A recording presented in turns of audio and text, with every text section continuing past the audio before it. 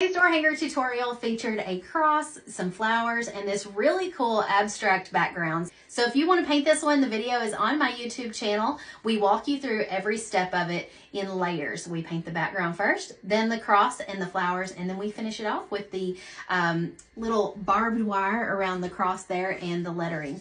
Don't be intimidated by this project. Anybody can paint it. Just follow along with the steps. Trace it on a wood round or you can get the design lasered on the wood from us at shopdoorhangers.com.